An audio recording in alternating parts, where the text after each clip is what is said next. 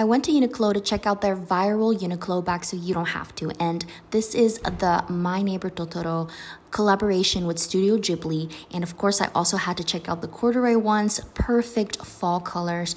And let me know which one is your favorite.